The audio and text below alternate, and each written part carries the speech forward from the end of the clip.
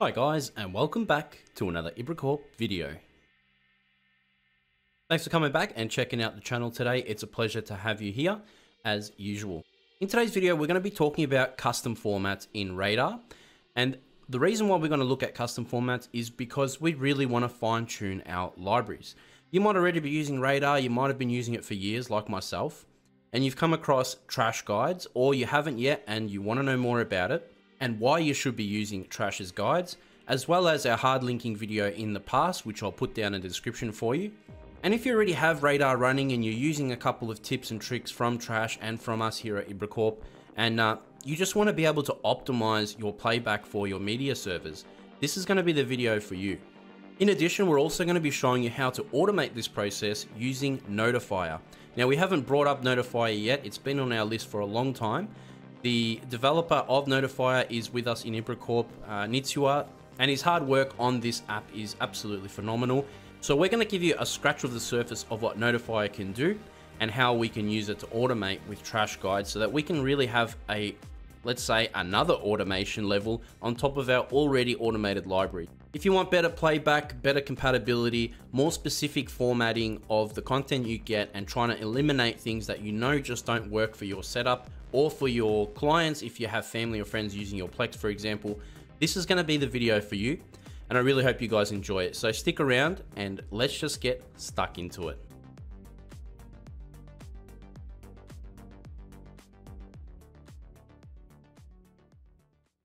So guys, we've worked together with Trash to bring this video together for you today. And a big thank you to him uh, and Nitsua for working with us on getting the topic out for you guys in the community.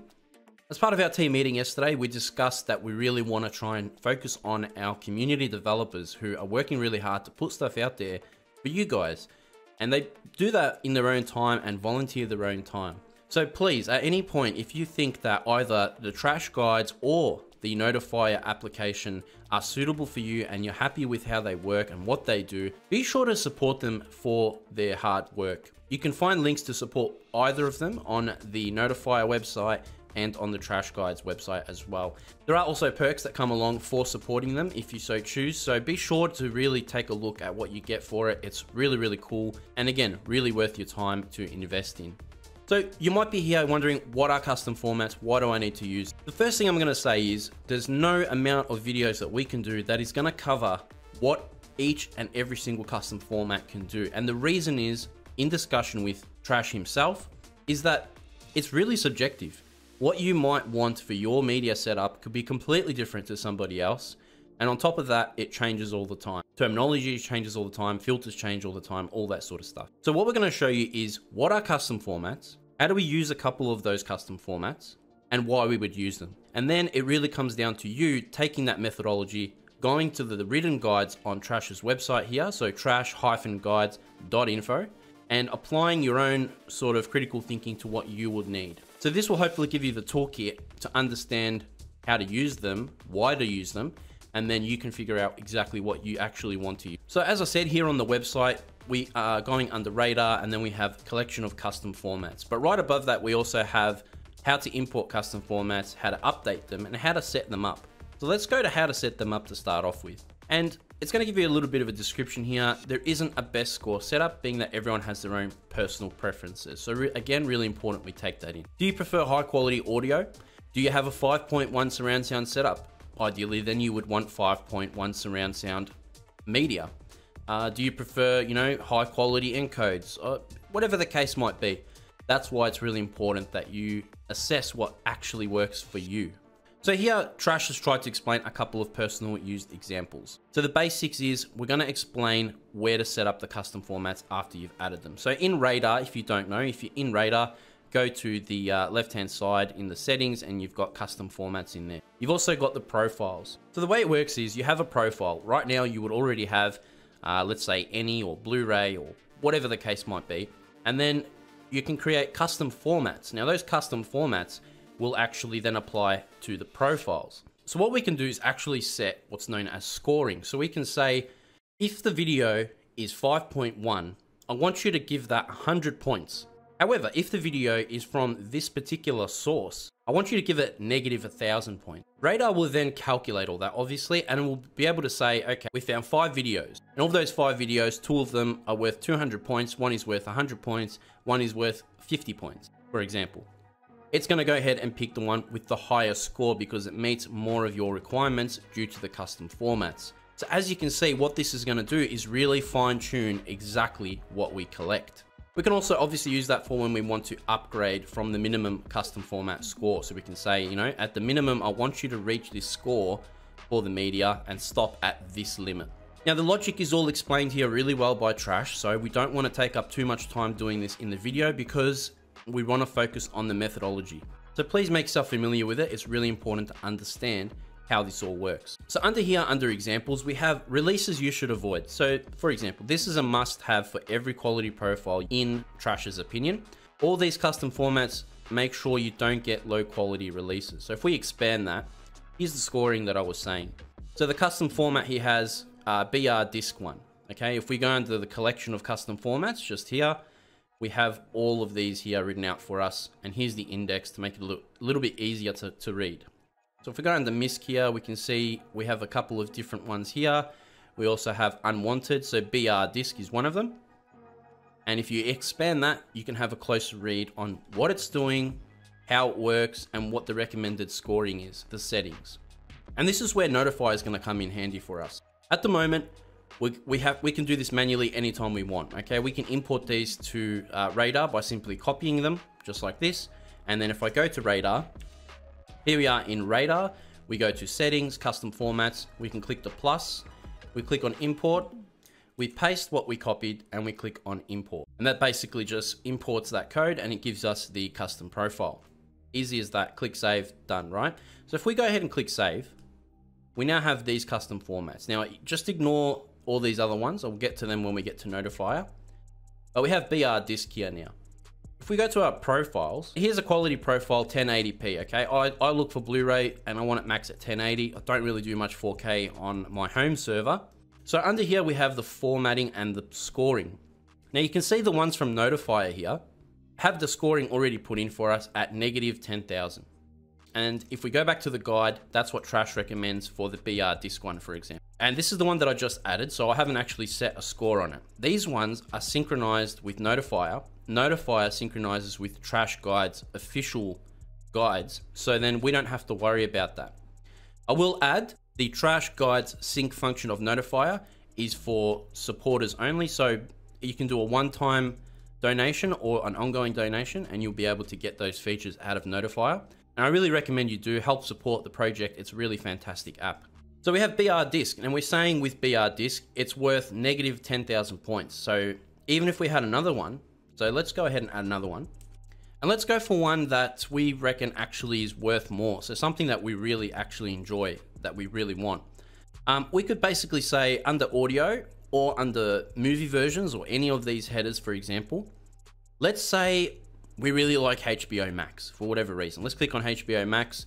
We'll expand that. There's a little written description. Then we have our code. Let's copy that.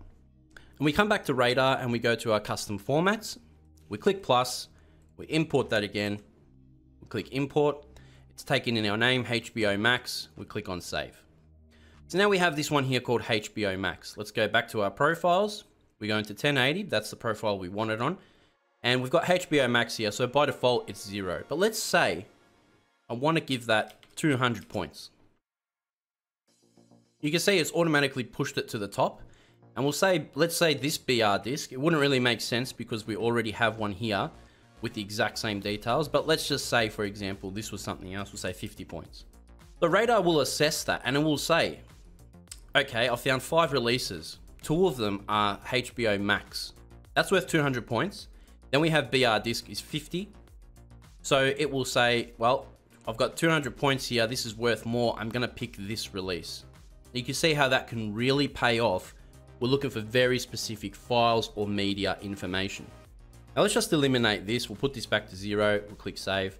Um, we'll go back to the custom formats and I'm actually just going to remove these ones because they are duplicates. So we'll delete these ones. Now, when you go to the collection of custom formats, this is available to everyone, by the way. Um, if you are a supporter of Trash and you donate to him, you actually get access to a couple of different formats as well through their Discord uh, server. So be sure to look at that. If you do end up supporting Trash, have a look at the perks you get. You can get some more customized profiles and things like that. But the custom formats that are available for everyone now are already fantastic, and I highly recommend you do support him for that. So if we come down, you have a whole collection of things. Now, after speaking with Trash, one of the most common things that happens is people stumble across the page, they've read the guides, they've you know now want to look at custom formats to really optimize their media libraries. They add everything. That is definitely not recommended. If you do that, you're going to be in a lot of trouble because certain profiles will do certain things. And depending on your setup, it's going to really impact it. So let's say, for example, we've got 264 and 265 here profiles. Let's, let's go down to them. And if we expand the description, is written here, if you want maximum compatibility and have much better direct play support, then use 264 for 720 and 1080. Under 265, you'll see please don't forget to read the following. If we click on that, there's a little bit more explanation. So it's a shame that most 265 releases or use the 264 as source, what results in low quality releases. So it gives a good example, and his golden rule is 720 to 1080, go for 264, and 4K, go for 265. Now you can look into that as much as you want, whatever your personal preference is. But that's just an example of why we really need to focus on what profiles we're getting. Don't just grab everything. And you can see exactly what he says in the description as well. So make sure that we're matching the scoring because that scoring will really judge how Radarr uh, decides which releases to grab. So I can tell you guys from personal experience, I actually put off looking at custom formats for years, up until only a couple of weeks ago. And the reason is I thought it personally was very overwhelming and I thought it was for really uh, media aficionados who really want a specific format just for their, you know, entertainment value. But I was obviously wrong. There's actually a lot of reasons why you want to look at custom formats, and I'm, I'm hopefully we're answering that question for you today. So even though you might be overwhelmed with all this stuff, all these different profiles you could use, you're not going to need all of them. And the explanation behind them all is different. So pick one that you might be interested in and see what it will do. So like this one here for unwanted, if we click on 265, this specifically will stop getting 265 encodes for 720 1080p quality. Now that's perfect because we then don't have to worry about doing that manually. We'll allow Radarr to filter that out for us. So that's a brief explanation of the custom formats. What I'm going to do now is show you Notifiarr and we're going to show you how we can integrate that. Keep in mind again, this is uh, the, the trash sync feature is for donators only. However, Notifiarr has over 30 integrations and it can do many different things. So currently I'm inside of Notifiarr right now. And uh, to get to this, it's notifiarr.com, spelt like this, N-O-T-I-F-I-A-R-R uh, .com, and it will take you to the main dashboard page, I guess you could say. If you don't have an account, obviously create an account, sign in, and you'll be on the same screen that we are. The only exception is we have obviously the patron supporter account, and so yours may look different here and there. Just keep that in mind that once you do pay as a supporter, you will unlock other features as well. Now, there's instructions to do that under the support project link if you just click on that. There's also instructions here to make sure you get the right perks, uh, and if you have any trouble, be sure to join their Discord as well. Now, under integration setup, you might be overwhelmed with how much is in here. And something you should really understand is this may not be useful for everyone, but Notifiarr honestly is one of the baseline apps that we should have been covering a long time ago, and it took us a while to get to it. Sorry, Nitsua. So on the integration page, if we go to manage integrations, you can see we've got, there's 35 integrations available. And uh, as you scroll through, you'll see exactly how many there are that you could be using right now for your self-hosted setup. And again, a big win to us self-hosters. So you've got almost every media server here, media server apps and companion apps and, and automation apps and everything like that.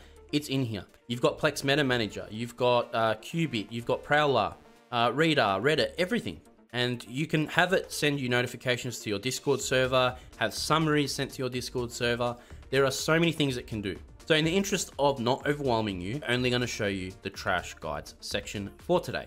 And if you guys are interested, let us know in the comments. We'd love to cover more of Notifiarr and we will in future.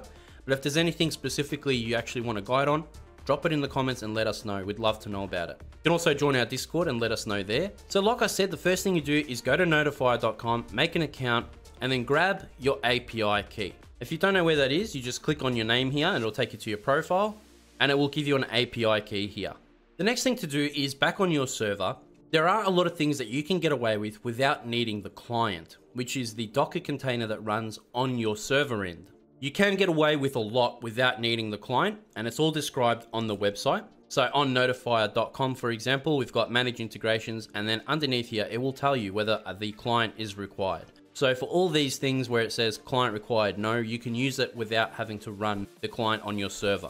Although I still recommend you do it anyway, it doesn't take much to do and having it run will have it expanded ready to go when you want to use those other features. Now in today's video, we're going to show you with Docker Compose, the same is equivalent when you're using a container on the CA store in Unraid. Nothing's going to be really different. So just match what we're seeing here in terms of uh, Docker Compose variables and move them over into your container variable. So it's nothing too special. We've got our ports here. We've also got uh, the volume that we're mapping it to. Now guys, we just did a Docker Compose video a couple of weeks ago, so make sure you watch that if you don't know how Docker Compose works. Um, it's all explained in there. We have our volumes here, and we also have our labels for Traefik, which we always encourage. A couple of uh, environment variables, the network we want it to run on, and uh, that's about it. Once you start that up, it'll be available on 5454. Now there's two ways you can do this. You can expose the ports, using expose, which we explained in Docker Compose video, or we can just actually forward the ports out at 5454, which is what we've done here. I then set up port forwarding in my router just to make sure that I can always get through. Now, once you've created the compose file on your server, go ahead and Docker Compose up. So bring up that file uh, and get Notifiarr installed and running. Once it's running, it will create a notifiarr.conf file and will likely stop itself or it will just, you know, error in the logs until you correct it. So in the file that it creates, notifiarr.conf, and guys, again, if you're wondering what we're using here to do all this editing, we're using code server, which we covered in a video as well. Highly recommend. It makes work like this so much easier than uh, working in the terminal. So we've got the API key. We've pasted our API key here between these uh, quotation marks. We scroll down and you'll see stuff that is commented out. You just have to basically set it up the way you want to set it up. Now, if I come down to the star settings, you can see that we've got Prowlarr, Radarr, and Sonarr uncommented. If you wanted to use anything else, you've got Lidarr here, for example. Uh, in code server, control and then forward slash will uncomment it or comment it. And just highlight the lot and do it that way and basically fill it out. So for Prowlarr, we've got Prowlarr, we've got our URL because it's running locally and it's on the same custom Docker network. We can just refer to the container name and the port that it uses. We then also put the API key from each app in there as well. So that gives us our Sonarr, Radarr, and Prowlarr. I don't use Readarr or Lidarr. Under our download client configs, we also have uh, NZBD, so I've put that in there as well for myself. If you guys are using qBit or Deluge, do the same here as well. Now, for the trash guides side of things, we don't really need this, but I'm doing it anyway because we're here in the file, we might as well set it up. The same applies for all these other integrations as well. So if you're using Plex, go ahead and do the Plex stuff. I haven't done it yet myself. I still need to do it, but we can uncomment that and fill out Plex as well. We've got Tautulli settings here. We can uncomment those. You've got MySQL snapshots, service checks that you can work on as well. So much. Honestly, it's such an amazing application. But for the purpose of what we want, we definitely want to make sure Radarr and Sonarr are set up in here. Now, once you've set that all up, Docker Compose down or pull it again and start it up again. Get the container running with all these new variables and you should be right to go. Now, if you're looking at your Docker logs, always make sure you're checking the container logs. And if it all looks good, you're right to go. If you're seeing issues with it communicating out, obviously just make sure that it can communicate out um, if you're using Authelia, for example, over the top, make sure you've got bypasses in place for the API to connect. And the other thing that you will need to do if you're using Cloudflare, so if you are using Cloudflare, the other thing you'll need to do is add in a web application firewall rule. So under security, WAF, go under here and create a rule. You're allowed to create up to five on the free account. We'll give it a name of Notifiarr, user agent equals Notifiarr, and we're then allowing that through. So go ahead and click save and that will should allow any communication to happen uh, without being blocked by Cloudflare. Now, depending how everything else went, you should be ready to start setting up the trash synchronization. So in our starting up the client, we sign into the website and then we need to go to media requests. Now, even if you're not going to be using media requests, we do need to actually set this up. Now, if that's all working fine so far, we then want to go to the Notifiarr client configuration. So let's click on that. And once you open that up, this is basically it talking back to the client, which we're running on our server. You can see the uptime that that's been up, how long it's been connected for, the last synchronization, etc. And underneath that, we have the connection. And you can see here, this is required for things such as dashboard, channel stats, trash sync, Plex notifications, media requests, etc. There's also a wiki link, so make sure you read that if you're not too sure. It gives a little bit more explanation as well. But basically here you can put, uh, if you're using a domain name and it's accessible, you can put the domain with the port number of uh, the Notifiarr container uh, or whatever the case might be. Now my scenario, I've actually got a static IP, so I just use the IP and the port number. Then you click this little icon, and if it's green like it is here, you're right to go. If it's red, it's unable to connect, so you'll have to do some troubleshooting. That might mean that your port forwarding Notifiarr in your router, uh, making sure that that's accessible, whatever the case might be. And once you've got the green light, keep in mind guys, it's not my real IP address, it's just a little placeholder I put in there. Uh, once you've got the green light, you go down and you'll see all these options here. Now, if you don't see these options or they're different, like I said, TrashSync is a supporter product, so only donators will probably see that. But under TrashSync, we can set the interval for how often we want that to sync. So we've got 15, 30, 45, one hour, or completely disable it. I've set that to 15 minutes. Um, I like it hot off the plate as soon as uh, Trash finishes his hard long day working and he gets home and he does a little edit and he posts it. I want it 15 minutes later. I just can't wait. And uh, same goes for all these other ones as well. So you can synchronize uh, Radarr and Sonarr, for example. Now with that all done, that's looking good. We can also trigger a client scan if we want by just clicking underneath, you know, which service we want it to check for. So currently these are disabled as you can see, but we can just click it on. Now, you'll see trash guides. Now you won't see that straight away because we haven't set that integration up. Under manage integrations, we simply click that. Here's our massive list of integrations that are supported and we scroll down and we see trash guides here.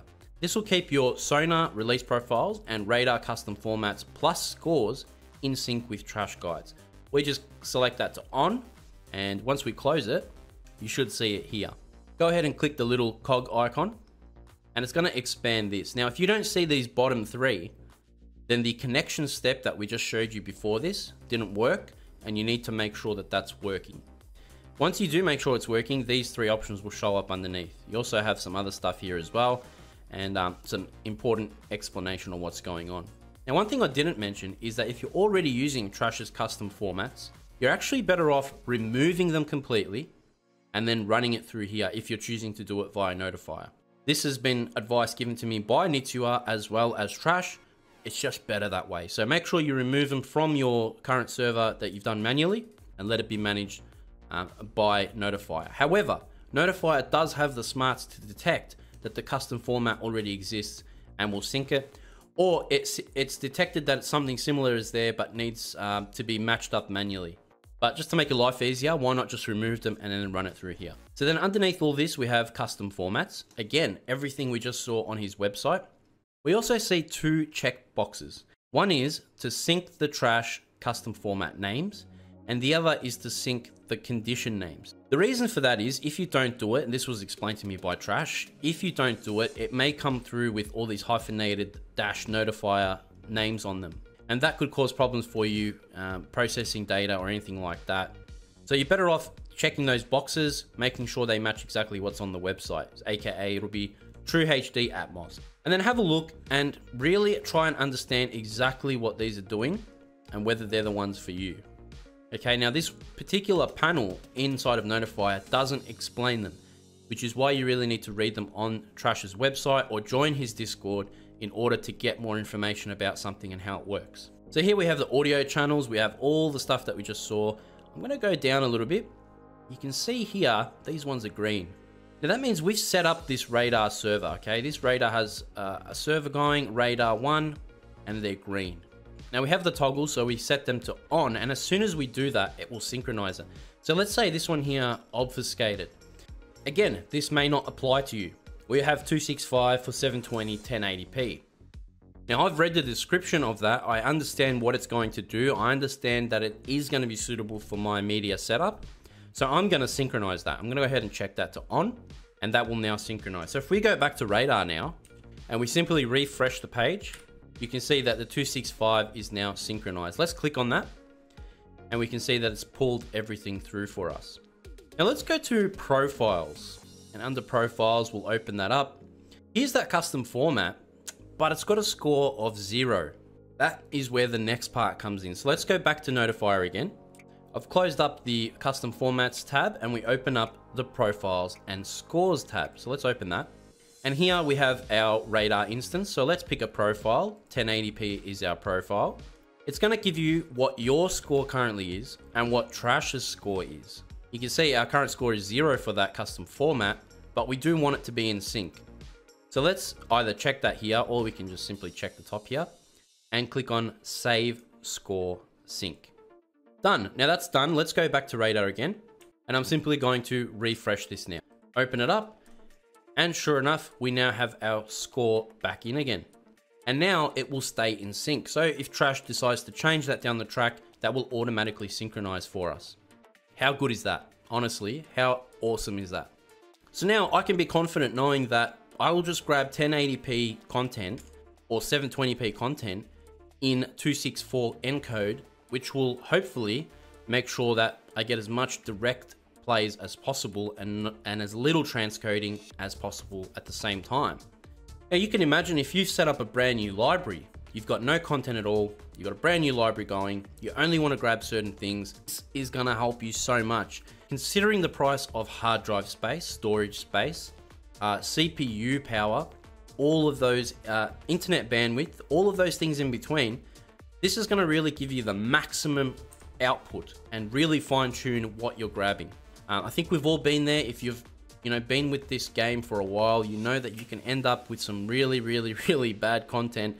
Um, you know, sometimes you've got 60 gig files when you could easily get something at 30 gig with the same quality and better playback. But all those things come from experience and someone like Trash who spends all his time doing that specific task really pays off and there's a reason why we really want to support people like that.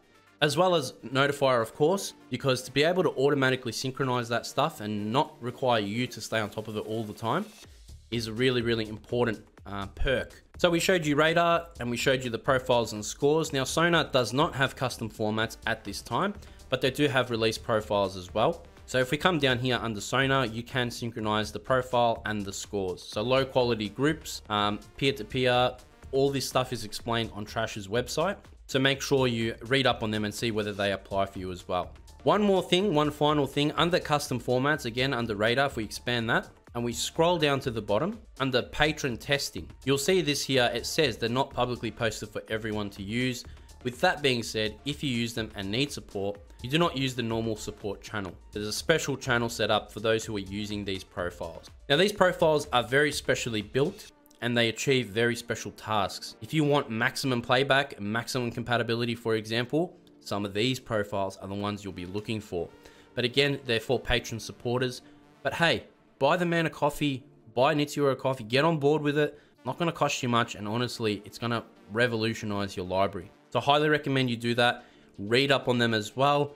Um, to get more information about these, you'll need to join Trash's Discord and, and chat about it there. You can also join our Discord as well. Trash is a community leader with us on IbraCorp. And uh, if it's an initial question, something you might need to know related to the video today, as well as Trash Guides, join us as well. And we'll refer you on, of course, if it's more specialized for this topic. So, guys, I hope you enjoyed that. I know it's uh, an interesting topic to cover, and there's certain ways that we have to do the video. I hope you'll understand what I'm saying um, where it's just a little bit safer to show you certain things without showing you certain things if you know what I'm getting at. So if you're interested in more information that isn't necessarily shown in the video that we can't put on YouTube, join us in Discord and let us have a chat about it and we'll be more than happy to help you. Uh, again, we have uh, Trash there as well, and we also have Nitsua there as well. And a big thank you to both of them for working with us for today's video. We can't wait to help support projects like that again in the future. If you want to optimize your library and you want to get the best possible bang for buck, make sure you sign up, become a supporter, and uh, help support us as well if you can on our website to help us get more content like this out to you. A like and subscribe goes a long way too. Thanks guys, I hope you enjoyed today's video and we can't wait to see you in the next IbraCorp video.